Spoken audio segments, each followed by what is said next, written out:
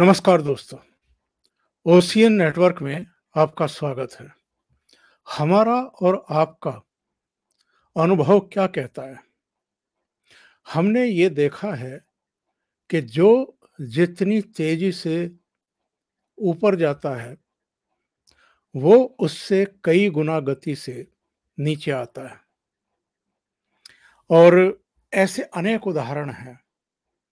इतिहास में भी हाल का जो राजनीतिक घटनाक्रम है, यानी आज़ादी के बाद का, उसमें भी अनेक दृष्टांत आपको ऐसे मिल जाएँगे कि कोई बहुत तेज गति से आगे बढ़ा, चमका और फिर अचानक टूटा और बिखर गया।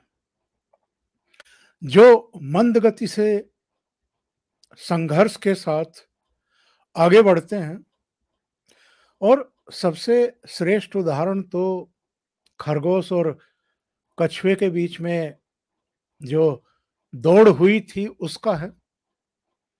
वैसा ही राजनीति में भी मान सकते हैं।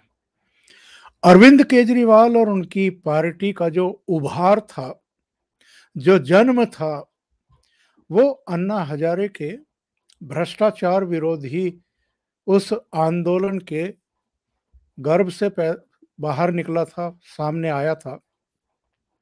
जो लोकपाल की लड़ाई को लेकर के दिल्ली की सड़कों पर, बेंगलुरु में, मुंबई में, कोलकाता में, देश भर के महानगरों में जो यूथ सड़कों पर निकल पड़ा था तो वहाँ से इन्होंने फ़ायदा उठाया। और फ़ायदा किस किस का नहीं उठाया इन्होंने? कैसे कैसे लोग इनके साथ नहीं थे। शांति भूषण, उनके बेटे Prashant Bhushan, Kiran Bedi, general V K Singh, इसके अलावा बहुत सारे ऐसे चेहरे जो अलग अलग राज्यों में अलग अलग शहरों में अपने संगठनों के ज़रिए, एनजीओ के ज़रिए जो सामाजिक, आर्थिक मुद्दे थे, उनको उठा रहे थे और संघर्ष कर रहे थे। ऐसे अनेक चेहरे अब हमें और आपको याद आ रहे हैं, जो अलग अलग क्षेत्रों से जुड़े हुए थे और एक संभावना देख करके, एक उम्मीद देख करके इनके साथ आए, लेकिन उनके साथ इन्होंने क्या किया? ये अब किसी से दबा छिपा नहीं है। चाहे वो मिलिट्री के बैकग्राउंड से, एडमिरल रामडोस आए हों जिन्होंने जिनको इन्होंने इंटरनल लोकपाल नियुक्त कर दिया था। चाहे बहुत सारे चेहरे, अन्ना हजारे भी कहा, अन्ना हजारे को इन्होंने सम्मान देना ही बंद कर दिया, क्योंकि अन्ना हजारे ने शुरू में कुछ नुकताचीनी की थी। उसके बाद आप देखिए, अन्ना हजारे का क्या हस्र हुआ है, चुप करके बैठे हुए हैं और बहुत सारे लोग सवाल खड़े करते हैं कि अन्ना हजारे ने पता नहीं महाराष्ट्र में कितने मंत्रियों की बलि ली कहाँ कहाँ उन्होंने अनशन किए और सरकारों को मजबूर कर दिया झुकने के लिए, अपनी नीति बदलने के लिए और आज उनके चेले चपाटे, भ्रष्टाचार के, कदाचार के गंभीर आरोपों में घिरे हुए हैं, घोटालों में घिरे हुए हैं और वो आपराधिक चुप्पी साधे हुए हैं।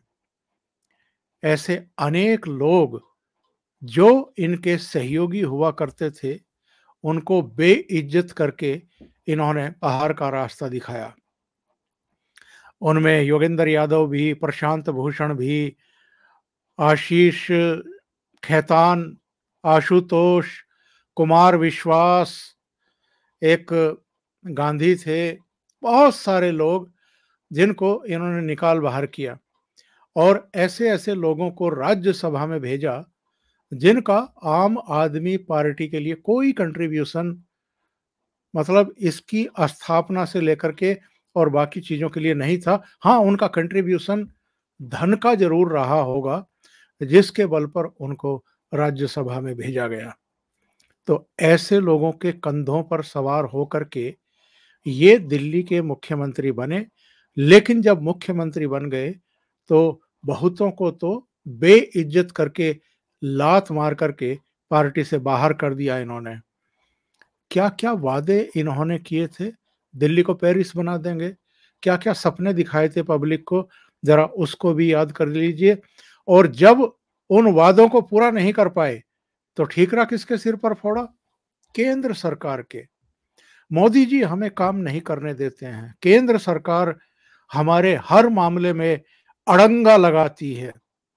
क्या जब चुनाव लड़ रहे थे दिल्ली विधानसभा के लिए, इनको पता नहीं था कि जो दिल्ली की विधानसभा है या दिल्ली में जो सरकार बनती है, वो केंद्र के अधीन ही काम करती है?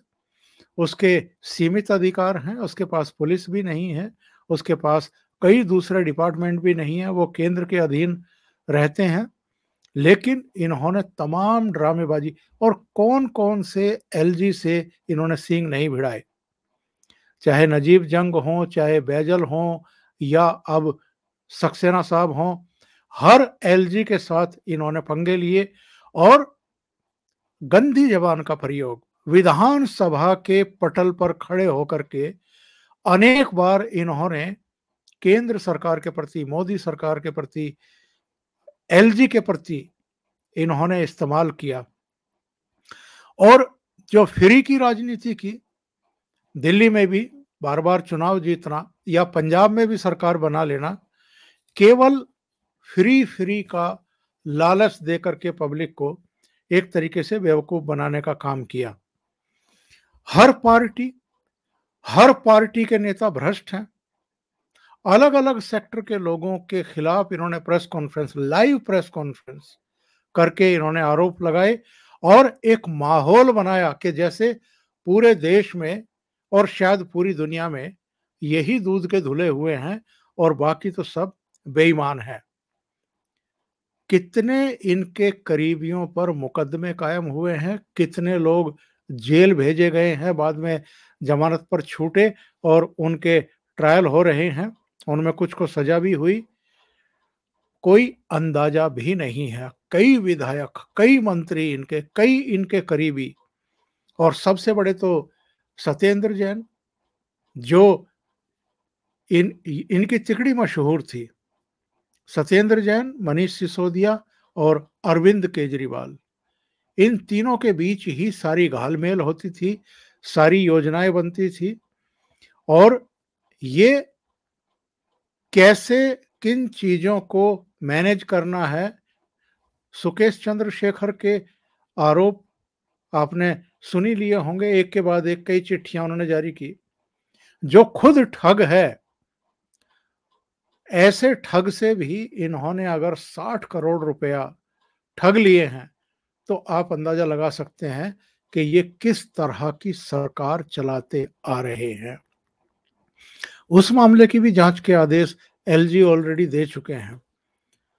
सुकेश चंद्रशेखर का कहना यह है कि 10 करोड़ रुपया तो सत्येंद्र जैन ने प्रोटेक्शन मनी के रूप में ले लिया था कि अगर जेल में सुरक्षित रहना है और आज़ाद पंछी की तरह रहना है, लोगों से मुलाकातें करनी है, ऐश की ज़िंदगी जीनी है तो आपको 10 करोड़ रुपया देना पड़ेगा और कुल मिलाकर के 60 करोड़ रुपए देने की बात उसने की है।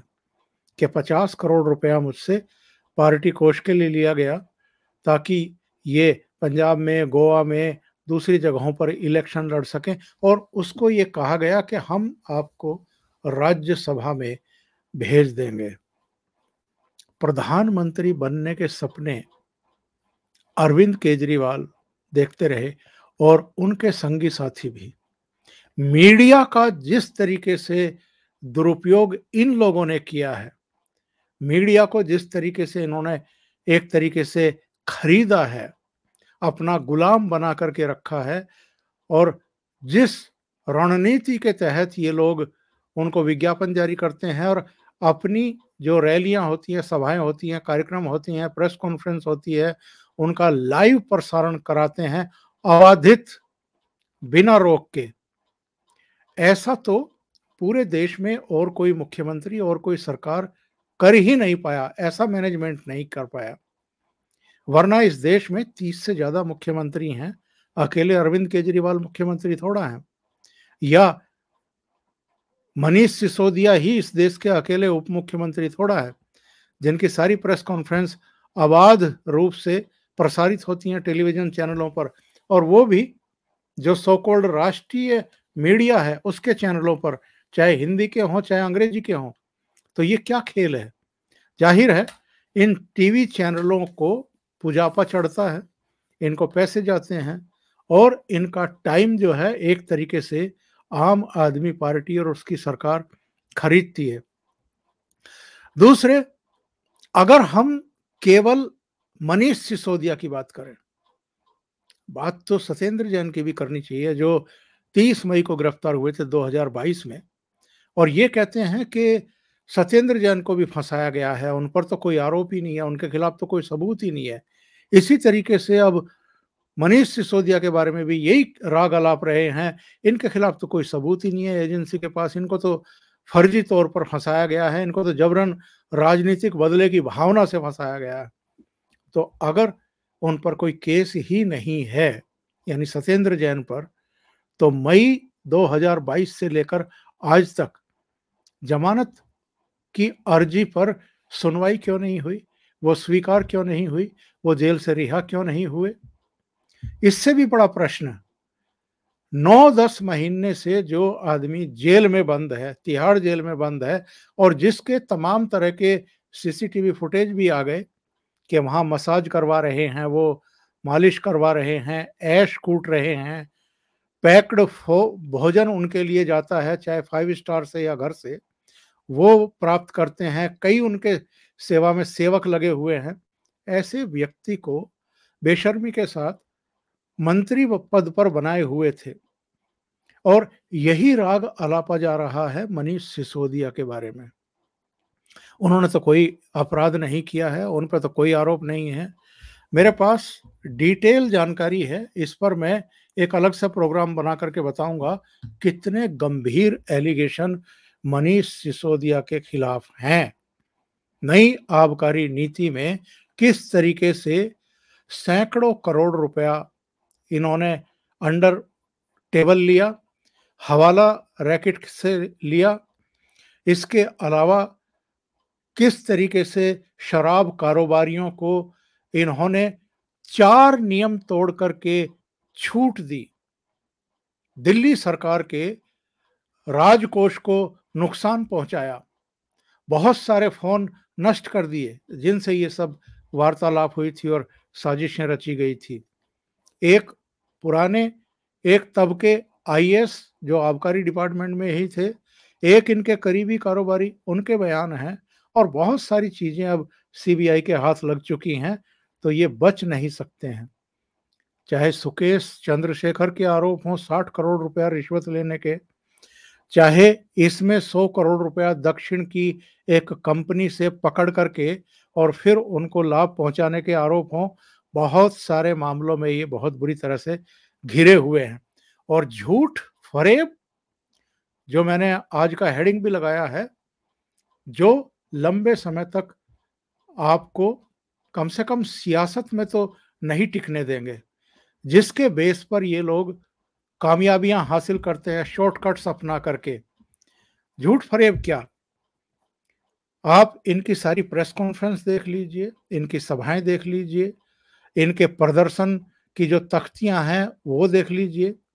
कहीं भी ये लोग नई आबकारी नीति में हुए घोटाले का तो ज़िक्र ही नहीं करते हैं, उसके तो सवालों के जवाब ही नहीं देते हैं। दुनिया का बेहतरीन शिक्षा मंत्री मनीष सिसोदिया बच्चों का भविष्य संवारने में लगे हुए थे। कितने लाख बच्चों का और उनके परिवारों का? 18 लाख बच्चों का 20 लाख बच्चों का भविष्य संवारने में लगे हुए थे। उनको गिरफ़्तार करके मोदी सरकार ने जेल भिजवा दिया। बच्चों के भविष्य के साथ खिलवाड़ कर रहे हैं। शिक्षा मंत्री के तौर पर तो उन पर अभी कोई आरोप लगा नहीं है। जाँच चल रही है उनकी भी, जो आरोप लगे थे। लेकिन ये आबकारी नीति यानी शराब बेचने के धंधे में जो नोट कमाए गए हैं, भ्रष्टाचार किया गया है, उस मामले में इनको जेल भेजा गया। लेकिन होर्डिंग्स कैसे लेकर के प्रदर्शन किए जा रहे हैं? शिक्षा मंत्री तुझे सलाम। अरविंद केजरीवाल से लेकर के संजय सिंह, दूसरे राघव चड्ढा से लेकर के जितने भी इनके नेता और प्रवक्ता हैं, सब बेहतरीन शिक्षा मंत्री था और बच्चों का भविष्य संवारने में लगा हुआ था, उसको उठा करके जेल में डाल दिया। मतलब लोगों की आँखों में धूल झोंकने की कोशिश, झूठ और फरेब से। इसके अलावा सत्येंद्र जैन को जब गिरफ़्तार किया गया था, तब क्या कहा गया था? इतने बेहतरीन मोहल्ला क्लिनिक बनाने वाले को उठा करके मोदी सरकार ने जेल में डाल दिया। आरोप क्या थे? हवाला रैकेट का मामला कलकत्ता की किसी फर्म से करीब चार करोड़ रुपया दिल्ली हवाला रैकेट से मंगाया गया। उससे यहाँ जमीनें खरीदी गई। यानी काले धन का सफ़ेद किया गया था। वो आरोप था, ईडी ने गिरफ़्तार किया था। ना कि मोहल्ला क्लिनिक बनवाने की वजह से गिरफ़्तार। फिर, अजी हम कट्टर ईमानदार हैं। ये कट्टर ईमानदार हैं। कितने बढ़िया कट्टर ईमानदार हैं। अब सबके सामने ये चीज़ें फिर क्या कभी आपने देखा किसी नेता को भ्रष्टाचार में अरेस्ट किया गया हो? और अरेस्ट करने से पहले पूछताछ के लिए जब बुलाया हो तो खुली गाड़ी में छत के ऊपर निकल करके और हाथ लहराते हुए, लोगों का अभिवादन करते हुए और जो भाड़े की भीड़ जुटाई जाती है ऐसे धरने प्रदर्शनों के लिए, नाटक नौटंकी करने के लिए, उनके बीच हीरो की तरह आप जा रहे हैं सीबीआई मुख्यालय, और उससे पहले लोगों की सहानुभूति अर्जित करने के लिए और अपने आप को कोई क्रांतिकारी या देशभक्त साबित करने के लिए राजघाट जाना, बापू की समाधि पर। या ये कहना कि साहब, सरदार भगत सिंह भी तो देश के लिए लड़ते हुए जेल गए थे तो जेल जाने के लिए हम तैयार हैं, हम जेल जाने से डरते नहीं हैं। ऐसे बहुत सारे मसले हैं जो राष्ट्र हित से जुड़े हुए थे और इन लोगों ने अलग लाइन ली थी। चाहे सर्जिकल स्ट्राइक हो, एयर स्ट्राइक हो, अग्निवीर की भर्ती हो, अनेका, अनेक मामले। केंद्र सरकार के खिलाफ यहाँ तेरह महीने तक आंदोलन चलवाया गया। शाहीन बाग, वो जो कांड किया गया था, सड़क रोकवा करके सौ दिन तक धरने प्रदर्शन। फिर दंगा, जिनमें इनका एक पार्षद पकड़ा गया। ताहिर हुसैन। ऐसे अनेक किस्से मैं गिनवा सकता हूँ, जब इन्होंने समाज में भी वैमनस्य और तनाव फैलाने की कोशिश करने वालों को संरक्षण दिया, या वो लिंक उनके, इनकी पार्टी से, इनसे जुड़े हुए मिले। अनेक मामले ऐसे हैं। तो सवाल सबसे बड़ा ये है कि इनके करीबी, यानी अरविंद केजरीवाल के दो करीबी, अब जेल पहुँच रहे हैं। एक ऑलरेडी पहले है और एक आप मनीष सिसोदिया पहुँच रहा है।